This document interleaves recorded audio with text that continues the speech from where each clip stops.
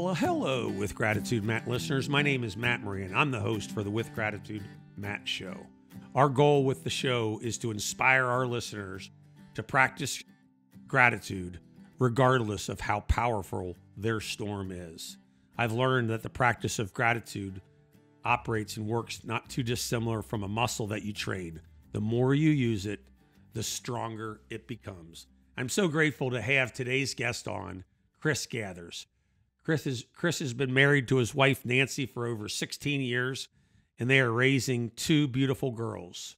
Chris is a sales executive with Nationwide in their insurance division today.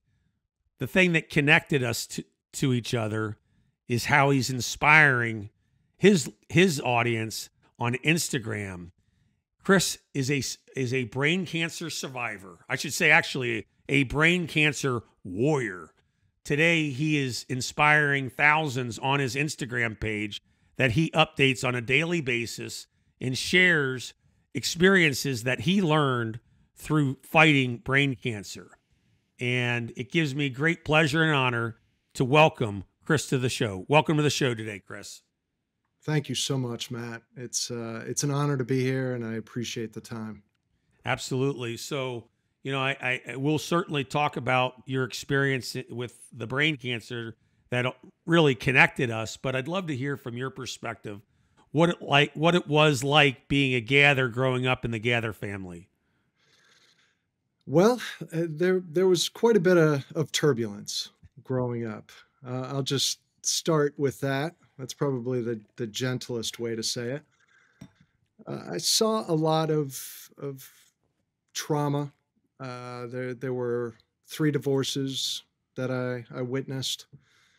I saw violence, um, mental health issues all around me, lots of depression. Um, and with that, you know, a ton of anxiety. So I, I would say that a lot of those things I spent years trying to unravel and feel and tripped along the way. Uh, that that was probably where I gained the majority of my strength in life. You know, you want to talk about gratitude that it's a weird thing to say, but you know, through the challenges that you just mentioned, um, being able to fight through that early on really gave me the strength to fight what I'm fighting now. Well, you know what's interesting.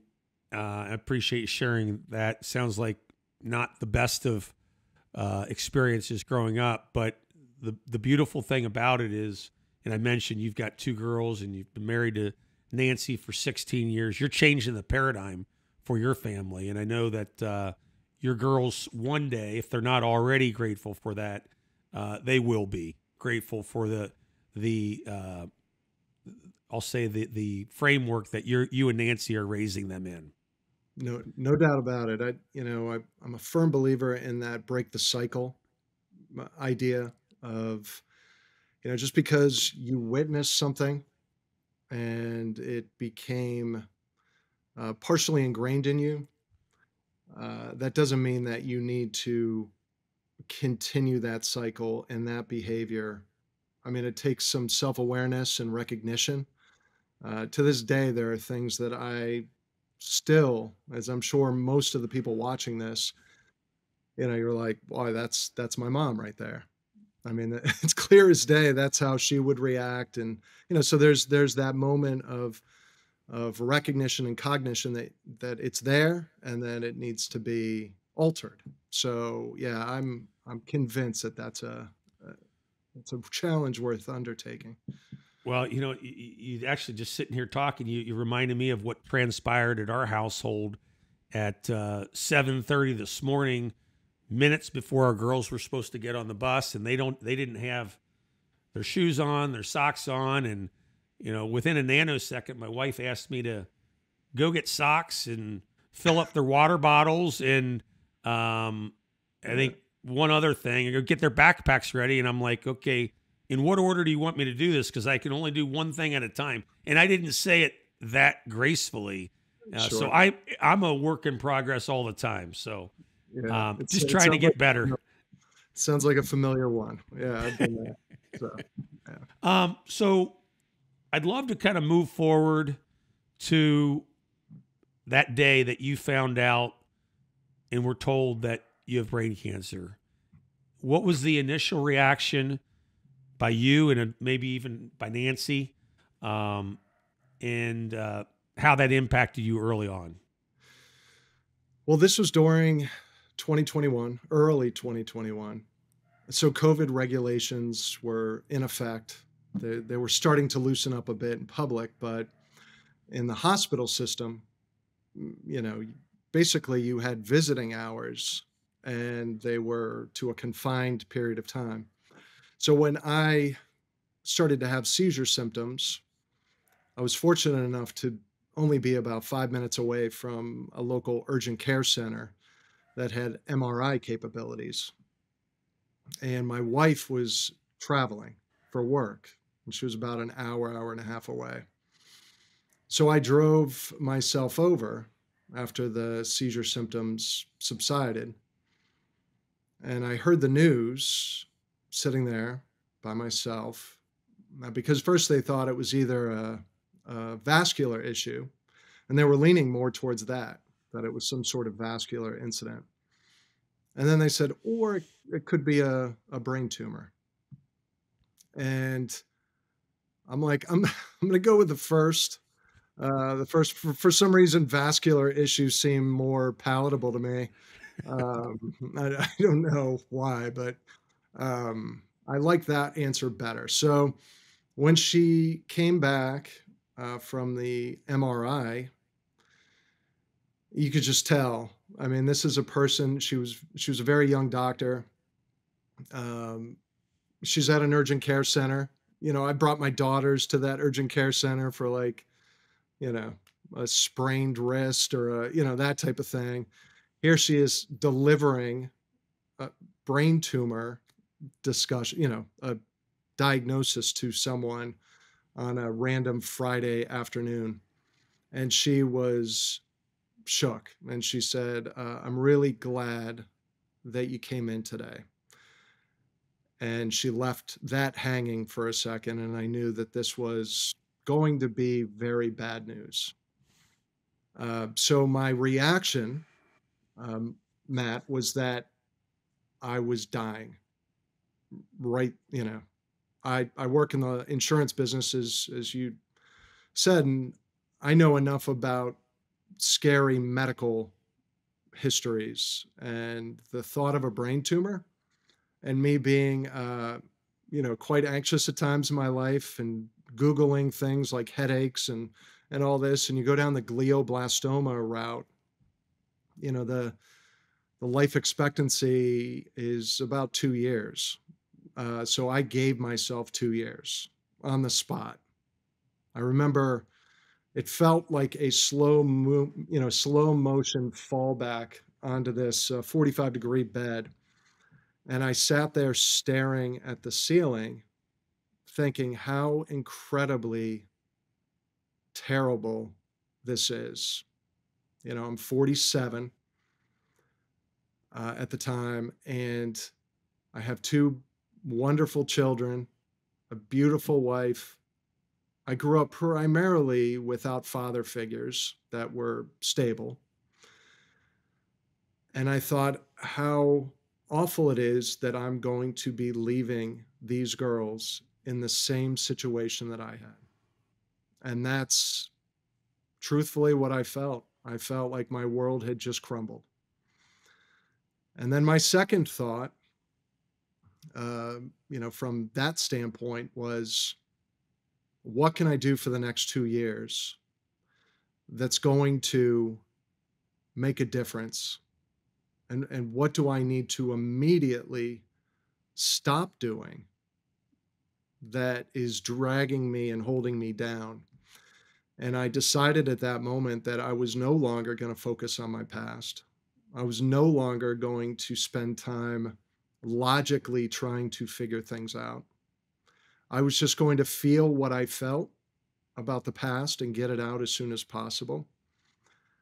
Dig into to the, you know, the scariest things that I could think up, face this head on, and and leave this world and my family's life better because of the next two years.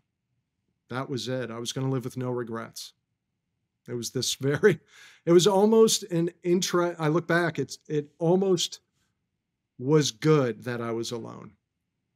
Uh, you know, from that mm-hmm. perspective, because I had I had this very clear, um, scary, but open thinking that I could do, because yeah. there was no worrying about anything else. Yeah, I, I think a lot of people that get the news that you got would probably react very similarly. I will say, and I'm grateful to say this, I feel like you your your perspective on life and your perspective on purpose and all of that is, is I, I want to compliment you on that today because I, I do really enjoy following you on Instagram and your daily messages. Um, you. and you're just really doing some remarkable work that is Likewise. quite diff like quite different than the early on feelings that you were feeling about brain cancer. At what point did you like go to I need to start producing material that other people can draw inspiration from versus I'll just say feeling f- sorry for myself and uh, down and out about the longevity that you may or may not have. Yeah, it was exactly a year later from my surgery. Yeah. Uh, my surgery took place on March 2nd, 2021, and my company had a an awards trip. We went out to Maui and, you know, Maui has a way, if you've been there, of clearing your mind and being, you know, just completely relaxed and not much stress there. So I'm sitting there. My uh, my wife and children uh, actually were not allowed to attend the awards conference because they didn't allow children to to be at the event. Uh, but it was still a free trip for someone. So uh, I invited my best man and my best friend to come out and be my guest.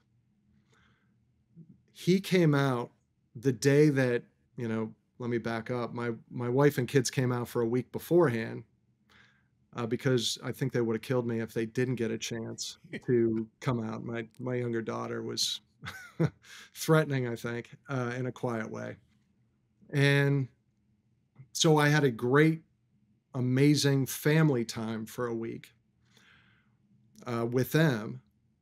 And then I was sort of primed for my friend uh, to come out, who we all have that, you know, one friend that we can say anything to. Um, it's it's this. I feel like he's my twin.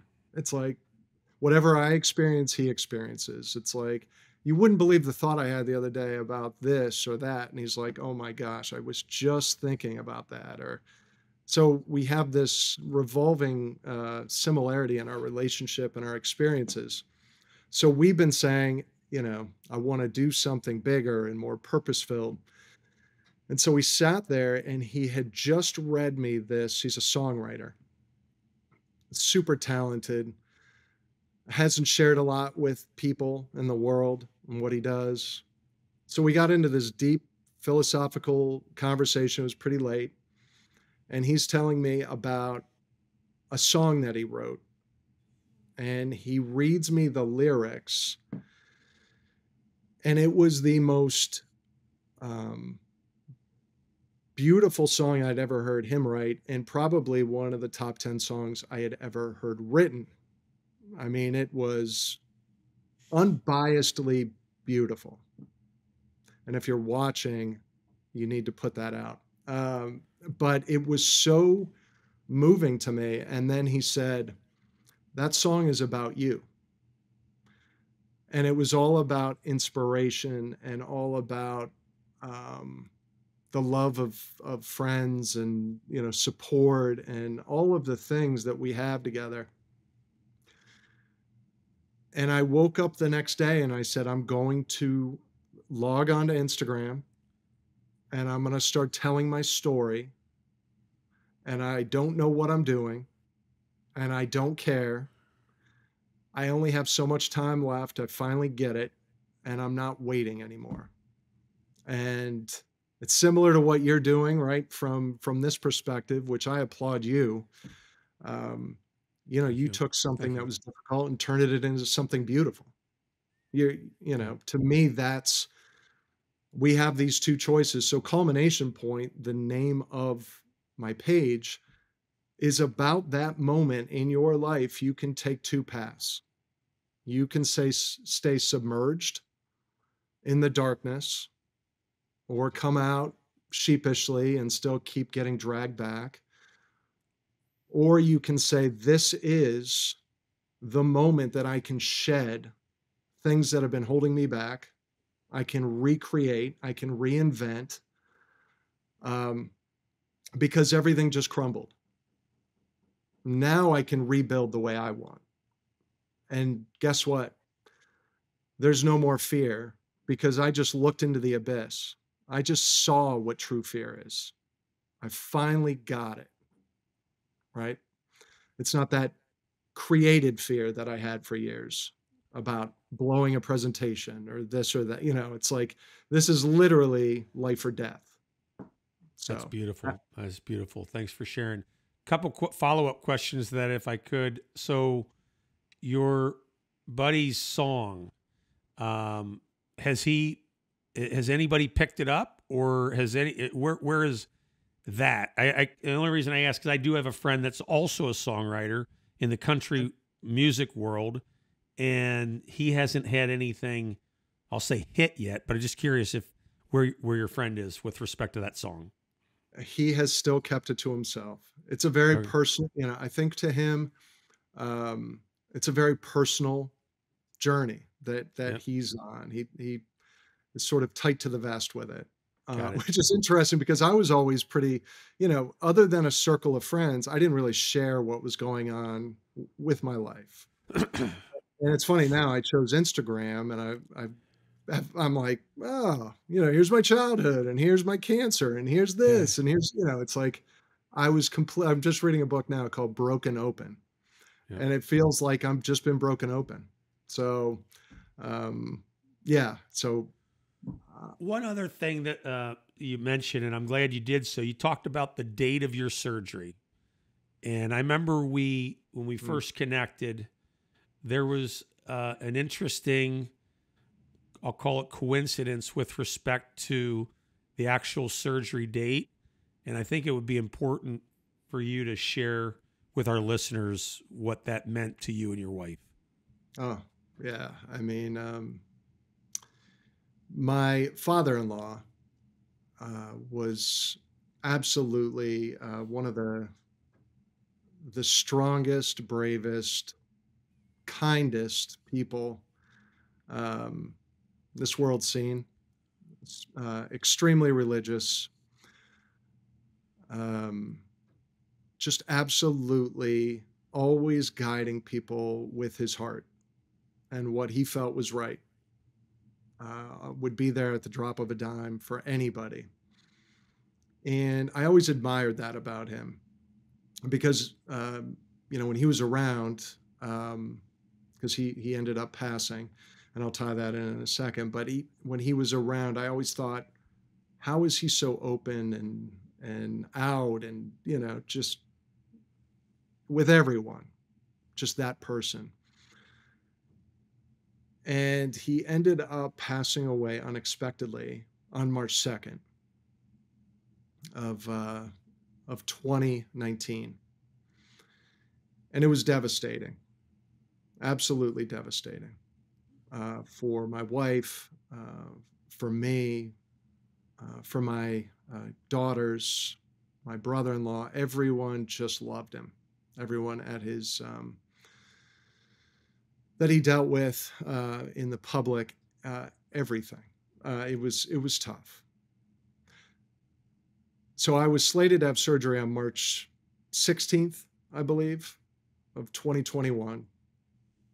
And I'm talking to uh, my wife and I are speaking with a neurologist. Um, I'm sorry, the the neurosurgeon at Brigham and Women's, and she said, "It looks like there's an opening on March 2nd. Would you like to come in a couple of weeks early and have your surgery?" And this uh, feeling of scary warmth, that's the only way I can describe it, uh, because I was half like, that's a very tough date from an emotional standpoint. Um, but Nancy, my wife, and I both answered almost simultaneously, like, yes. And then we knew that he was there. You know, he was going to, he guided this date. He guy he was going to be there for the surgery, and it strengthened my belief in angels and you know he was clearly an angel while he was here um, clearly an angel who got me through a 13 hour surgery. And um, we feel him all the time you know when when there's something going on in our family that's either beautiful or tough um, you can always just feel his presence guiding us to do the right stuff. So it, it's so it's a very important date. It turned from a, a solemn date into a celebratory date. So I thought on March 2nd, 2021, I was like, I'm going to go make that page for not only myself and my family, you know, everyone that can watch it, but him as well. Because I know that's what he would want me to have done. He wanted he would have wanted me to see the light that he's shown on this thing.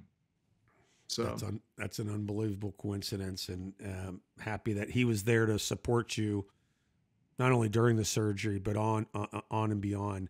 I know um, when we first connected, I, I shared with you a little bit about uh, what a friend of mine wrote in the book "Healing Before Your Cure." That's Roy Von Thomas book, he talks a little bit about the integration of your spiritual health, your mental health, your emotional health, and your physical health. And I, I think when we first connected, there was there was some common ground with respect to you know how you look at things. And I guess what resonated with you when I talked about that integration and if you think about it from a houses of health perspective, is there any one that you think is um, more important to you than, than another?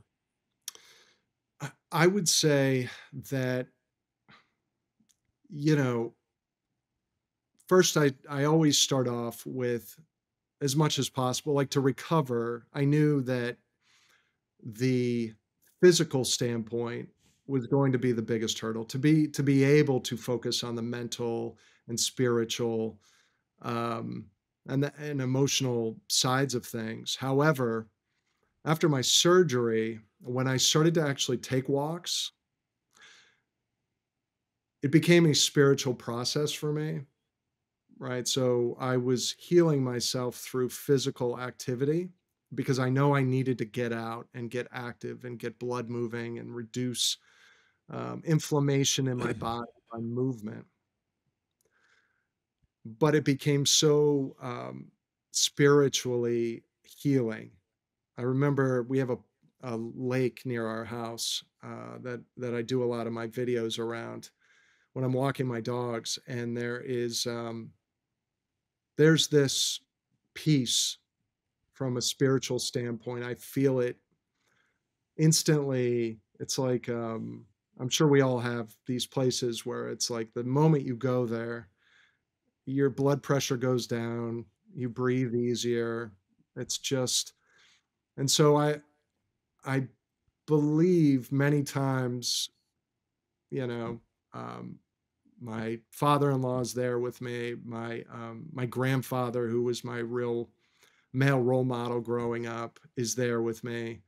There's a connection to that. There's a connection to God, obviously, because of the beauty of what I'm seeing So it's it's tough for me to uh, pick all of you know. I would say though the spiritual thing. Um, I think I went into it thinking physical when I was walking all those miles, but it became a spiritual thing. So to me, I don't think you can have the others without starting with like a spiritually sound center, you know, and That's just awesome. being centered. Uh, So out. along those lines, I so um obviously you know you know a little bit of I mean we have a show around gratitude. I mean my I my personal belief is that we just need to and I didn't start the show with the intent of helping other people find you know a relationship with God and Jesus Christ so on and so forth but it's kind of turned into that. Um, but what I've found is my spiritual life has really changed since I since I have been diagnosed with kidney cancer, and that I'm grateful for because I think what I found is the closer I get to to him and the real relationship that I have, a lot of the anxiety I have around other things goes away. And I'm just curious on your end, have you had a similar experience to that? Oh yeah. I mean, I was raised um, I was raised Roman Catholic growing up. And um, because of all the turmoil in my house uh, and a lot of pain that I felt, um, almost like uh, why would this happen if there was a God? Why, why would I have so much pain in my childhood? in my teenage years in my adult life, right? And then what ended up happening is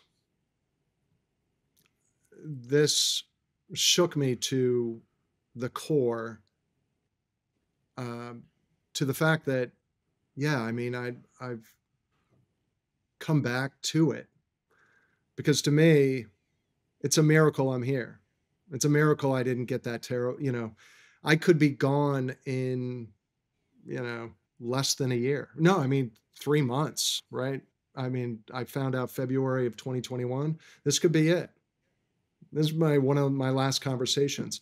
The fact that everything aligned and I found the right surgeon and things were done um, so precisely and without deficit upon my on upon me, and they're you know as the surgeon kept saying, there's a millimeter that matters. And when you hear someone say, uh, it's a millimeter that matters, it can literally mean the difference between, you know, being okay and not being okay after surgery. That's that's a God thing.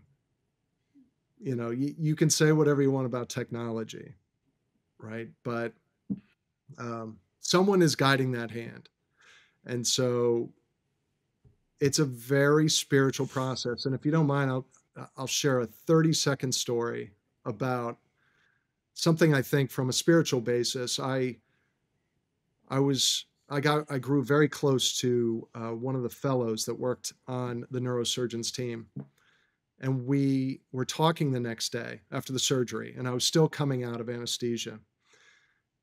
And he said, "Boy, it's great to see you cognitively here, you know, like discussing things and like understanding me and everything. I'm like, man, that anesthesia is is yeah, it was heavy. He goes, no. And he's like, we got new software six months prior to your surgery that we had never used before. And it enabled us to probably take out another 20, 25% of the tumor. And he said there was a moment where, out of when we tried to take you out of anesthesia, you didn't wake up. And the doctor and I looked at each other and thought, we, in our eyes, we were looking at each other thinking, we did too much. So to me, there was a moment in those 13 hours that I almost didn't make it. Now going into that I didn't for some reason I didn't think I just thought oh these are capable you know they obviously were capable but I didn't know that. So God guided them in a way to get me out because there was Indeed. a bigger thing for me to do Indeed um, I just got goosebumps as you shared that story as I know a lot of our listeners will as well and I'm so grateful that uh, the surgeons with God's assistance were able to do what they were able to do. And uh, I know that uh, that two year period is going to be up soon, but we'll continue to pray that you've got tenfold of that in you, yes. 20 plus, maybe 30 plus. Um, yeah. You still need to walk your girls down the aisle someday, right? Yeah. I mean, the, you know, luckily, uh, you know, the good news kept coming uh, because the prognosis is good.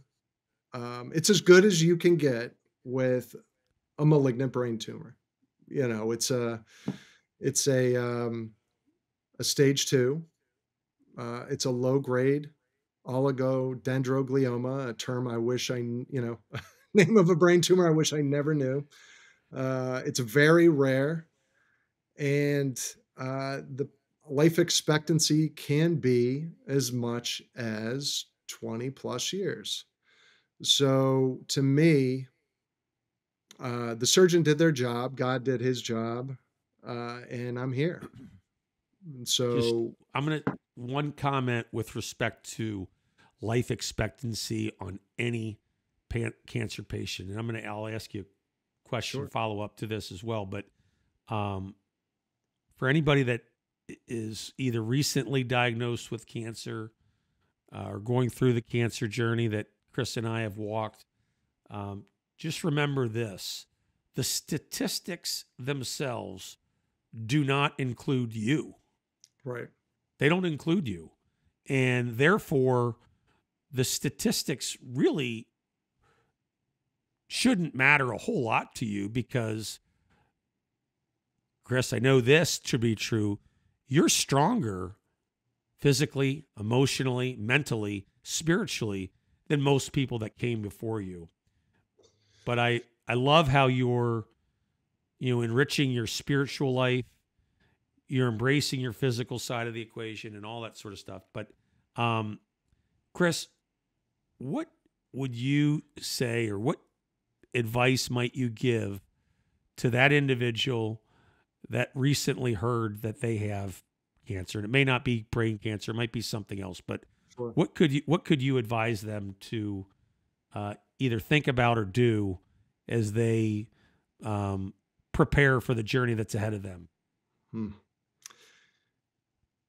I would say first be patient and compassionate towards yourself and feel it. When you're ready to, to feel what it is you know feel everything you know it, it's got to be a you know there were moments when i found this out that for six to nine months probably where i would just close myself off into a room and just cry uncontrollably for hours. And my wife you know has had such grace and and just you know because she's a very positive upbeat person. And she just um you know i just did that. So, so to me the first from a mental and emotional standpoint is feel it you know um, it's going to be tough there's going to be moments of denial uh, stay off google that would be, that would be the other thing i would do instantly uh, I did that a couple times. I went down the Google, um, uh, whatever they call that. Um, it it was not good. Yeah, th- there was a lot of scary things on Google, and as you just touched on, nothing applies to our situation. Um, and then the other thing that I would recommend above that uh, is find a really, really good doctor um, like don't take just whatever that first person that you go to, if you don't feel comfortable and you don't feel empathy and you don't feel support um, and a good team around that person, uh, go to the next one. This is this is a serious situation. It's not a I you know I sprained my knee.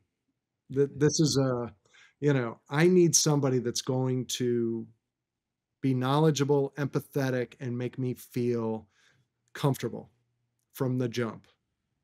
When I know Chris, you mentioned Brigham's earlier. Uh, you know this because we talked about it, but I, um, I also am treated out of Boston, Dana Farber Cancer Institute, who's affiliated with Brigham's, and um, I think it's interesting. I can't agree with you more about finding the right doctors. Chris does not live in Boston either. He's out of Connecticut. So that's not in your backyard, but they're doing some remarkable things out of that uh, that institution, and so grateful for everything that uh, the entire Brigham's, Women's, and Dana Farber's doing. So they're amazing. Um, amazing. They really, they they truly are. Chris, love to just kind of move a little bit. I touched on it a little bit around gratitude, but how does gratitude play a role in your life today? And maybe how has it changed uh, since the, the, the cancer diagnosis? Whew. I mean, gratitude is everything for me right now. Uh, it it is my life. Um, don't always, I don't always hit the mark, uh, you know, with what I want to do or need to do or how I want to live. Um, but gratitude always brings me back to what I need to be doing. So it it is those moments um, with my kids or my wife or my friends where I might be taking it for granted in the moment, you know, just in my own head or preoccupied on my phone or whatever it is that's going on. And I think and I really got, I've got to get back to just appreciating where I'm at, the setting I'm at, the people I'm with, um, the gifts that I have. Um, you know, I went to Dana Farber yesterday. Uh, luckily, had a stable scan. And you sit there and you look around and you see people that are in wheelchairs you see young children uh, suffering through some of these things and fighting through them. Um, to me, the perspective of gratitude is massive. Even when I feel overwhelmed by what's going on with me, I make sure to look around so that I can appreciate the most appreciate the most basic things like walking, right?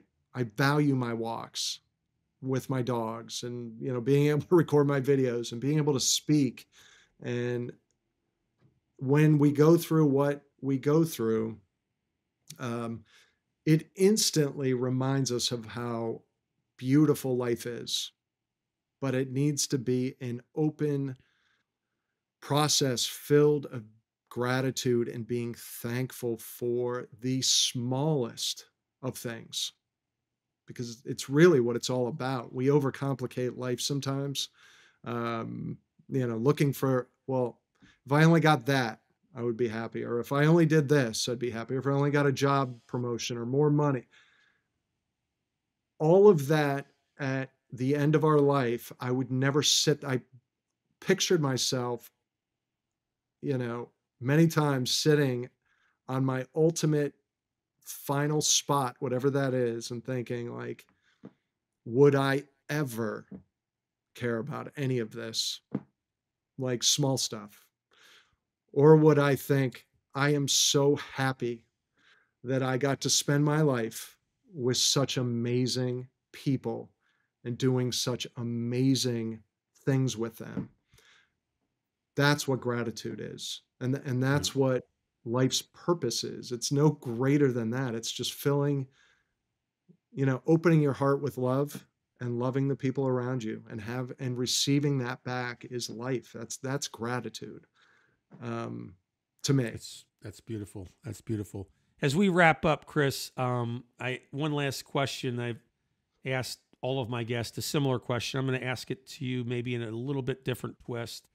But if you think about, I mean, you've been through a lot the last eight, I'll call it 23, 24 months or whatever. Um, getting to where you are today, it's been a lot. Um, I'd love to hear your perspective on it. Could be that that hurdle of you going through uh, walking the cancer journey that you're on today could be something else.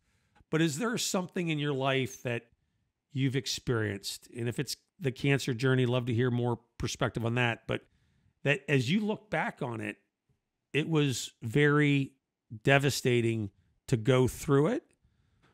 But after you went through that fire, if you will, you're able to look back on that experience and say, wow, I grew so much as a result of that experience that I'm almost grateful that it happened. And if it's the cancer journey, love to hear your perspective on that. If it's something else, love to hear that too. But uh, love to hear you how you might respond to that. Oh, that that's I love that question. Um, I talk about it a lot to uh, whoever will listen. I think, you know, my my page is a lot about that. Uh, my family hears it all the time. I think some people think it's crazy to appreciate cancer as a gift, um, but I believe I was sleepwalking a lot before this. I, I think I uh, spent a lot of time in my own head, um, looking past uh, sunsets and you know just wrapped up in worrying and um, taking my eye off the ball. So this, um, that's the first part of it. Cancer stopped me from doing that. It it made me say stop. Look at that because this might be the last time you see that in your life. Um, and then the second part of it is what I talked about with being open. Um, I never, uh, being an only child with someone in, you know, with surrounded by uh, and uh, kind of a structure that was muddied and and didn't have much um, guidance. Um, I ended up feeling very closed off, and also solving problems on my own, never asking for help. Um, never wanting to truly be a burden on anybody, never wanting to share, you know, because I thought, well, why would they want to hear my issues? Because then, you know, I'm just going to become that negative person to them. And then uh, this forced me to be vulnerable. This forced me to ask for help. This forced me to say, I'm weak right now. I can't do it. I literally can't. You know, there were times I couldn't even add basic math. I was looking at my daughter's second grade homework and I was like, this word problem is impossible, right? I'm not the greatest math student, but I know I could do second grade math. But it made me, it forced me out of my bound up, um, head centered way of living and made me more heart centered. It forced me to say, I need help, I need a hand. Um, and it forced me to offer more help because I saw the good in people. I saw the beauty of people now because I saw the outpouring of support and love that, frankly, was always there, probably. I just never allowed myself to feel it out of fear of being hurt. And now I'm open up and I'm like, what's the worst thing I can that can happen to me? It sure isn't, you know, somebody just not being kind to me. I've been through the fire, so I've seen it. So to me, that to answer your question, it's a multifaceted appreciation for my cancer. Um, I would never give it back because it was a wake up call. That is remarkable. That is truly remarkable, Chris. And I'm so grateful that we connected. I know our listening audience is going to really enjoy getting to you, getting to know you better. And I encourage all of you to follow uh, Chris on his Instagram page. Um, he puts out some remarkable work that certainly inspired me, and it can inspire you as well.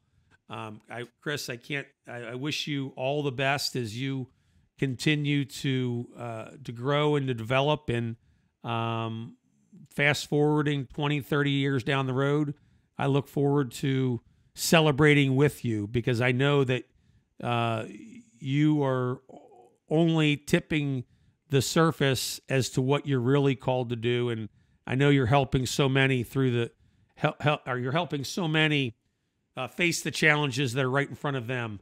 I, I like to talk about three things I do each and every day to help me, and I'd, li- I'd like to share it again. The first of which is find the courage to be grateful, regardless of how powerful your storm is. Secondly, be truly present to those that are right in front of you. You'd be amazed at the gifts that are right in front of you, but if you're closed off, you're not going to experience them. And lastly, pay attention to how you're feeding your mind, your body, and your soul. Today's guest was my new friend, Chris Gathers. Chris, it was such an honor to have you on today's show. Listening audience, if today's show inspired you in some way, shape, or form, share it with others, comment on it, and subscribe to your subscribe to our show. With gratitude, Matt listeners, until next time, find the courage to be grateful. Godspeed, my friends.